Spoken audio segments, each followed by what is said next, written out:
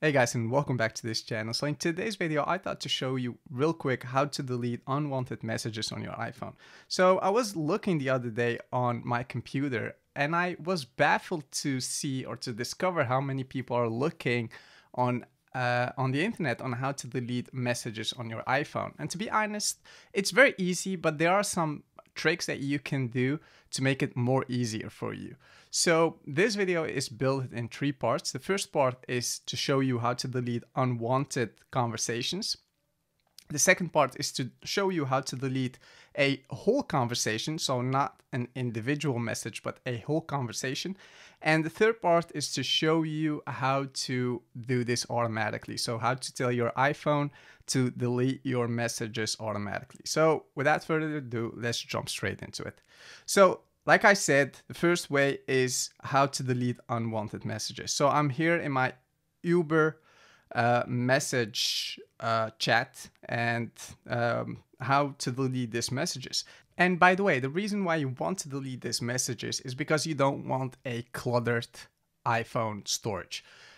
To be honest, those te text messages will not uh, take a lot of space on your iPhone. But um, once you start sending videos and memes and pictures, that's where the storage will uh, get uh, a little cluttered.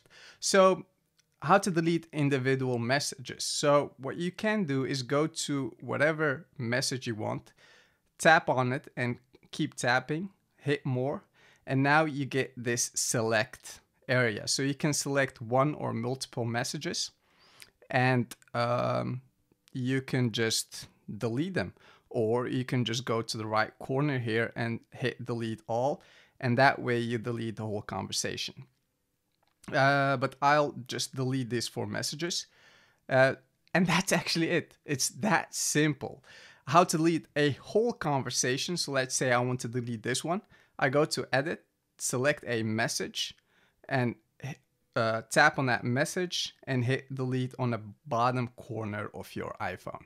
So that way your whole conversation will be deleted and you can't get it back. So be careful what conversation you want to delete and whatnot. And the last way I want to show you is to automatically let your iPhone delete old messages. This is something I'm not selecting. Why? Because I always want to choose which uh, conversation I want to delete and which not. Uh, it's very funny to look to a conversation you made like five years ago uh, that gives you that uh, nostalgic feeling, and I always love to uh, do that. So once in a while, I'll just scroll into my messages just to see what um, conversation I had a couple of years ago. But if you want to automatically delete all your messages. What you can do is go to your settings, uh, and I already went to there just to prepare for this video. So once you are, are on your settings, you scroll down and you go to messages, and um, what you want, what you need to do is go to keep messages. So uh, you can choose whether to keep them forever or uh, to keep them for just one year or to keep them for 30 days. But once you select one of those options, uh, let's say if you want to, uh, to keep them for a year, um, every message or every conversation that you had before the previous year will be deleted.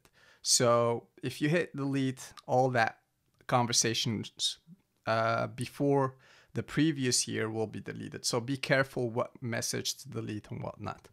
And that's actually it, guys. I hope you had some value out of this video. If you have any questions, leave them in the comment section below. I've written a whole article about this very topic, so uh, I'll leave a, a, direct link to that. Go and check it out. Um, don't forget to subscribe to my channel. Help me out. Like this video if you had if you had any value out of it. And I'll see you in the next video. Bye.